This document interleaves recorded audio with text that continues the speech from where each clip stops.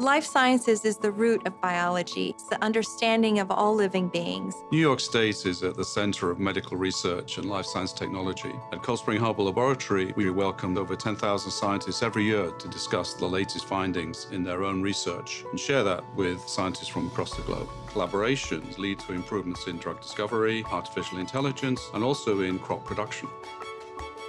JLabs is the innovation incubator arm of Johnson & Johnson. One of the specific innovations that I'm so excited about is a simple syringe capability so that children are no longer misdosed. The Masonic Medical Research Institute is focusing on cardiovascular disease and autoimmune disorders. The CRISPR-Cas9 technology that allows us to do genome editing to correct various disease mutations. In the next few years, we will be actually curing disease as opposed to treating it.